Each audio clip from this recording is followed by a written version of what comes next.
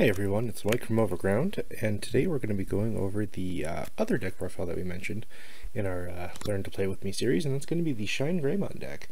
So again, I've got a nice little background to showcase today's contenders. We got TK, we got Kari, we got Patamon, we got Hope. Hope is yellow, and guess what color this deck is? Yellow. So, let's go ahead and get right into it. So first we're going to talk about the babies. Also, quick disclaimer, and I say this with every deck that we show right now most of the time don't take any of the ratios that we have as gospel right now. We're just kind of learning how to play. We're just kind of building based on A, our knowledge of, of card games in the first place and how we're applying that knowledge to this new card game, and uh, also just kind of building decks as a baseline so that we get a general idea of how to play the game A in general and, and B this archetype specifically in general and then as we learn to play and get to get more comfortable with strategies we'll be able to modify them and make them a bit more competitive or add more text depending on what other decks kind of we see in the format or what other decks A will get our hands on and B what we're able to build. I'm using A and B a lot today, I don't know why, but either way, I promise we're going to get into it, we're going to get into it. So we're going to start with the babies. We've got three Cupimon. This is the inheritable uh, when it attacks of securities five or more, you get to draw one. And then we have the Nyaromon, which is uh, when it's rested, all security Digimon get plus a thousand. Objectively speaking, in terms of testing, I found Nyaromon as inheritable came out way more often than Cupimon's did. Uh, I find that in this game specifically, you're never usually sitting at five security very often, and you kind of want to keep at the three or so range because that way your uh, carriers are going to be active, which we're going to get to as we get later on in the deck profile. So we're going to go into the rookies. The first rookie we have is the main Patamon. This is your set one Patamon. So this is the one where when it's played, you reveal the top four, and for every yellow tamer that you find, you get to add them to your hand. This deck is very heavy on tamers, and it's very uh, yellow tamer is kind of the central win condition of the deck. So I felt that uh, originally I actually wasn't playing this Patamon, but I felt that it left a lot to be desired because I didn't just want to hard draw my tamers and play them, or I didn't want to have to rely on them coming out of the security. And what this does as well is that it lets you combo with the Rise Greymon, which we're going to see later on in the deck profile as well. So this is a very cool starter. So I actively try to hard play it as opposed to digivolve it. Uh, I'll digivolve it if it's absolutely necessary, but nine times out of ten, if I can hard play it, I will because it gets your engine going. It digs through your deck a lot faster, and it gets to add uh, potentially uh, more than one card to your hand. And uh, all of those tamers all add value to your deck as a whole, and they uh, contribute to your final end strategy, which we'll get to. So to round out this Patamon, we also have starter deck yellow Patamon coming in at four. So this Patamon is really good because of its inheritable ability. And what it is, is that every time, uh, once per turn, again, per Digimon, because sometimes you'll have multiple that uh, have evolved from this one specifically. If a Digimon is destroyed due to its DP being reduced to zero, you get plus one memory. And this deck is all about dealing with your opponent's threats by reducing their DP to zero. It's the only deck in the format that kind of takes advantage of that mechanic to uh, disrupt your opponent. So what this Patamon does specifically, and why you want to play it at max copies, is that whatever is evolved on top of it, whenever you go through your general Shine Greymon combos or through your general combos that would deal with that DP reduction, it's going to give you plus one memory, which will allow you to continue playing your turn. Uh, you'll notice that a lot of the cards that we're going to get into later on in the deck are not necessarily high costed, but high cost enough that when the general choke memory game goes back and forth, you might be forced to end your turn by playing one of these cards. And with these Patamon, you'll gain that memory back, which potentially might put you either back at zero or stay on the your side of the memory gauge to help you keep playing. So this Patamon's super important. And then to round off our rookies, just two copies of uh, Savers Agumon. Not really much to say here. Uh, his inheritable is if you have three or more tamers, you get to draw one when you attack. I want to squeeze more copies of Agumon in, but I find that the space in this deck is so tight and uh, you're going to see that with more card choices that I'm going to be explaining and going to be revealing. Again, uh, this deck isn't perfect. Uh, this is just kind of built as a baseline based on what I found and what has been spoiled and what I've tested and yada yada yada. So it might come back to a point where if I do rebuild this deck or I do tinker with it, you might see different ratios of everything altogether. But I am interested to hear your guys' thoughts in the comments. Do you feel like these ratios are correct? Is there anything you would change? Is there anything you feel that I'm completely wrong with? I want to know. So that is it for the rookies. For the champions, we start off with three of the set three security Ankylomon.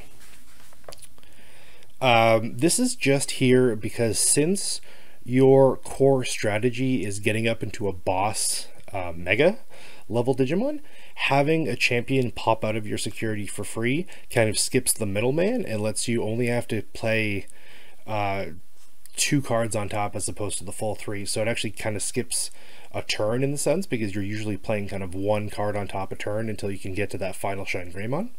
What the Ankylomon does is that depending on how much memory your opponent's left with you, and if you have other Digimon that have evolved on top of Patamon earlier in the turn, have giving yourself an extra champion to kind of build on top of, make sure that you kind of keep that memory uh, available to you. I, I don't really know if what I'm saying actually makes sense right now. The point is, turboing out a champion is critical in the sense that it gives you a free middle level to build upon to get to your Shine Greymon. Again, I'm not 100% sold on the Ankylomons yet, but from what they've done in testing so far, I have uh, objectively seen that they have uh, a lot of good potential. So next we're going to go on to the next champion, which is going to be 3, Repamon. So Repamon is uh, just a generic vanilla yellow champion. Uh, one of the cheapest hard costs to play as well out of three, and with the two evolution costs is 4,000.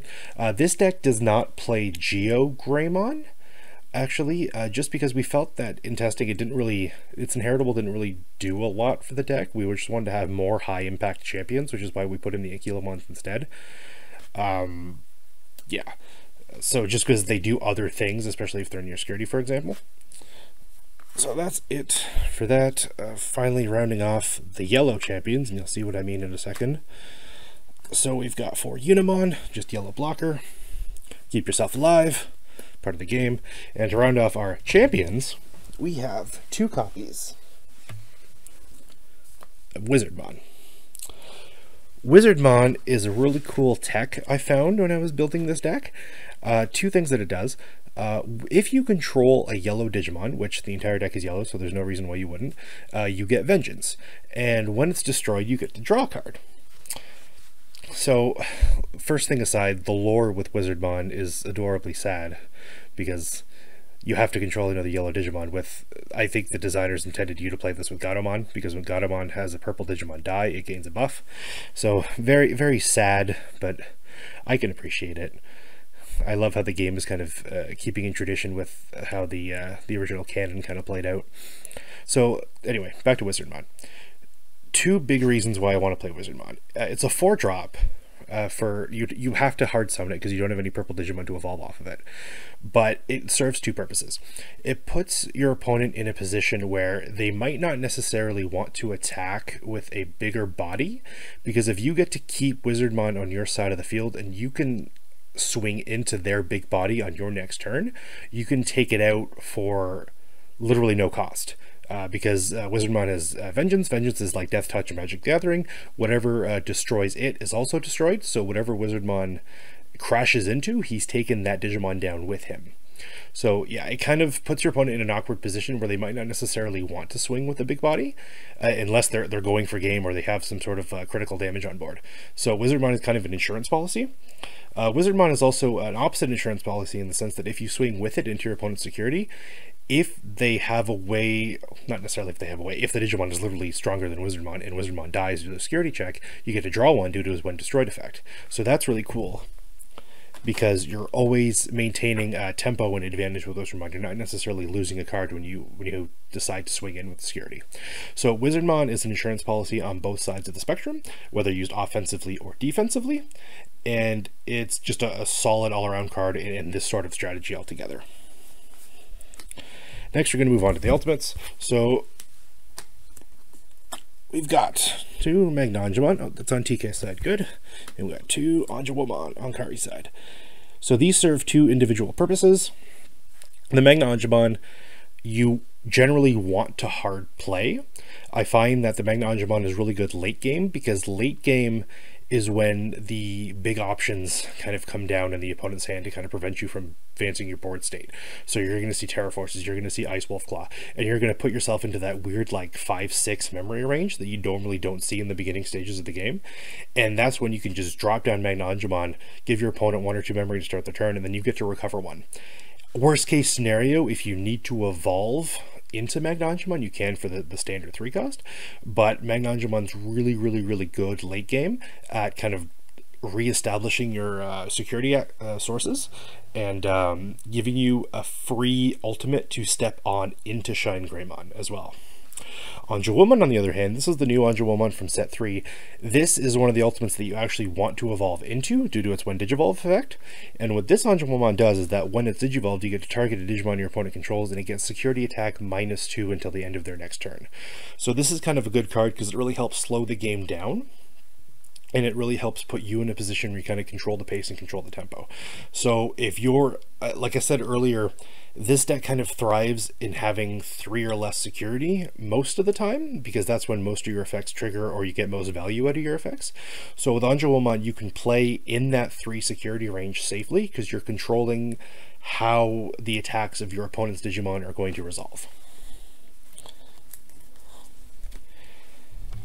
So finally, for the last ultimates, we play three, or sorry, four Rise Greymon. I was looking at his evolution cost. So yeah, so it's a three cost. Uh, Rise Greymon is really cool. It has really good synergy with this deck due to your Tamer heavy focus. When it's Digivolved, you get to play a Yellow Tamer from your hand for free. Unfortunately, you don't get its one plate effects, but not, other than the one specific TK, that doesn't really matter. Also, it has a really cool uh, inheritable, which if you have three or more yellow tamers, you give the mega that it evolves into its security attack plus one. So that leads us into final piece of the puzzle. So the main boy, the main mega that this deck is based around, is Shine Greymon. Now, unfortunately, I did want to have my orange Digivice IC in the background to represent Daimon and Shine Greymon, but unfortunately, I just can't find it, so we settled on the Holy Digimon's children instead. But let's talk about Shine Greymon, because he's the one on the picture right now. He is a 4-cost evolution into a Mega, and his effect is as follows. When he is Digivolved, you can rest every single Yellow Tamer that you currently have on the board. And for each Yellow Tamer that you rested, you get an instance of minus an opponent's Digimon's DP by 4,000. So again, that's an instance of. That means that if you have three Tamers that you tap, you get to activate the effect to minus 4,000 three individual times. You can also pick and choose whatever targets you want. So if you want one Digimon that's 6,000 and one Digimon at 3,000, you can put two of them on the 6 and one of them on the 3, and you can wipe them both out. The longer the game goes on and the more you get to have more Tamers in play, the deadlier this gets. We actually had just had a game last night where I was actually able to get all nine tamers from this deck into play. And when I slide shine, slammed Shine Greymon down, it was doing 30, 36,000 damage across a spread of my entire opponent's entire field. I'm actually going to kind of edit a picture of that end board into this video as well. So it's a really good way at clearing out your opponent's board uh, in one of two ways. You can either focus all of your 4,000 reductions per tamer onto one single Digimon if they have a giant body that you just need to clear out, or if your opponent decides to go wider as opposed to going taller and they have a bunch of smaller Digimon on the board, you can just pick and choose which ones you want to clean out, and that just paves the way for your victory. The other cool thing about Shine Greymon is that he gains 1000 for every yellow tamer you control. So again, by default, let's say on average you're going to be having 3 per game. That means that he's already coming into the board with 14,000. Now, you're going to say, but you know, the, the biggest number to beat right now is like 15,000 because that's the Omnimon standard. Even so, you can get Shine Greymon above Omnimon depending on how many more tamers you can push into play.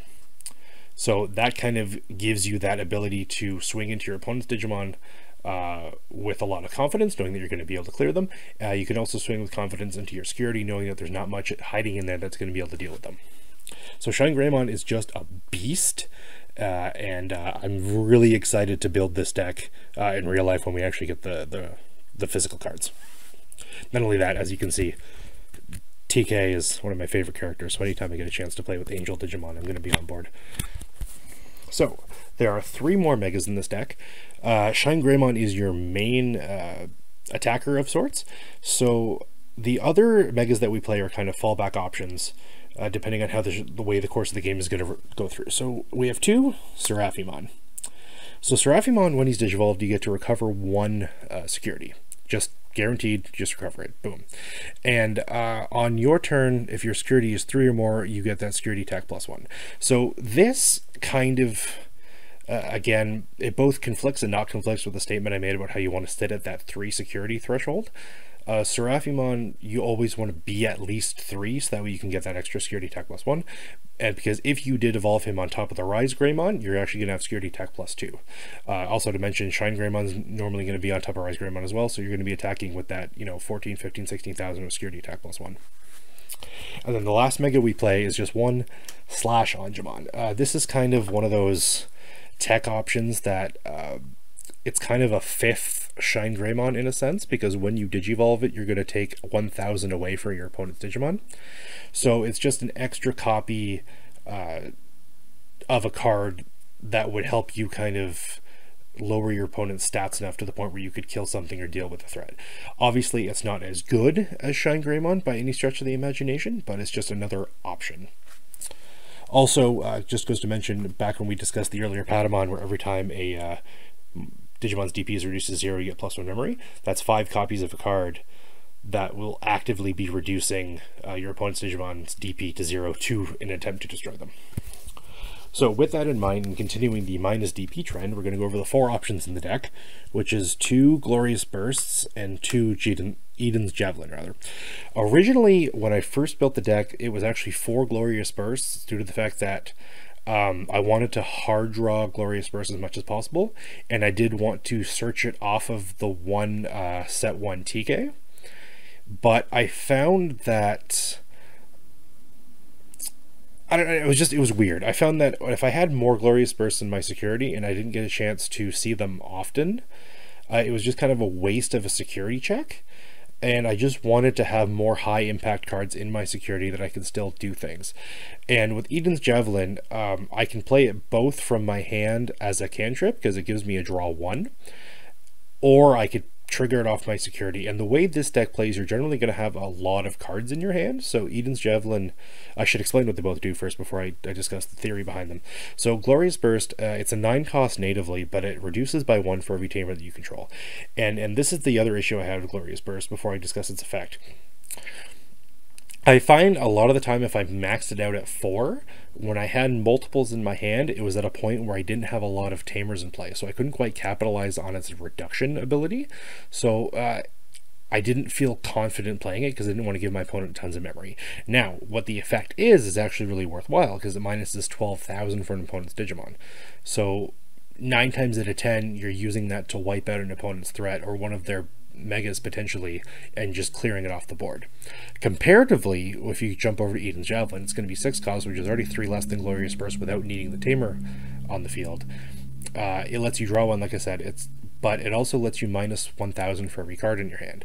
And this deck sometimes will have a lot of cards in hand because you're burning through a lot of evolutions, and a lot of times uh, there's a lot of kind of draw pass in this deck as you're just trying to controlling the board and staying alive. So you're generally going to have about maybe five, six, seven cards in hand to resolve this effect, which means although you can't hit the same levels that Glorious Burst would use to go after, you can still potentially go after, you know, rookies and champions that your opponent's are trying to build up to just kind of get rid of them and, and clear the way.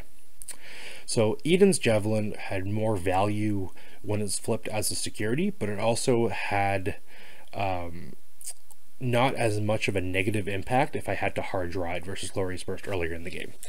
These ratios, again, they're being fooled around with all the time, and this might change again, but this is just what we found was the most consistent so far. So to round off the deck, there's nine cards left, and what they are is they're just going to be nine copies of the yellow tamers that are currently in circulation. So we've got Starter Deck TK. Starter Deck TK is a two cost. Uh, generally, if I can play him turn one, I like to because uh, my turn one plays will usually be like drop a rookie, draw, and then play TK to give my opponent two memory. And what TK allows me to do is that all my security Digimon are going to have plus 2000 DP. Next, we've got Starter Deck TK. Starter Deck TK is probably one of the best tamers, in my opinion, in this deck. Uh, you play it, it's the memory increaser, so uh, automatically your memory is going to go to 3, and you get to search through your security, add one of the yellow cards that you find into your hand, and then you recover 1. Now, the reason why I keep uh, stressing this hovering around 3 security statement is because of Kari. Uh, Kari makes it so that you kind of break the game in terms of your starting memory every turn. Um, if you can get at least one Kari in play in combination with your starter deck TK, you're starting every turn with four memory, guaranteed, without fail. You increase the number of Karis on the field, that increases the starting number of memory you get per turn. Again, you get two Karis, you start the turn with five memory. You get all three Karis in play with one starter deck TK, you're starting the turn with six memory. That means it puts your opponent into really awkward situations because nine times out of ten, they're playing their cards in a way that they're specifically uh, organizing their plays in a way that they're going to end you on one to three memory. So that way you don't get the full value out of your TK, for example. So when I say that, uh, sometimes uh, if your opponent's at two, for example, and they need to play something before they end their turn, sometimes it's beneficial for them to play a five cost because they know that you're going to get three guaranteed because of TK. But if they play a four cost instead, it's not so bad because you're just going to get the extra one to get full value. Now you add Kari into the mix. Let's say I have one Kari. Now I'm getting four memory guaranteed. Well, now if I play this five cost, I feel like I'm wasting it because you're still going to get an extra memory at the end of the day. And then if I have two Karis on the field, I'm in a situation where I need to start playing higher cost cards to get full value out of the fact that you're going to reap so much free memory. So it's almost like your opponent's put in a position where they play cards suboptimally just so that you don't get free resources. And if they do continue to play the game normally and don't fall into that trap of playing suboptimally, you still get free memory. So it's a win win.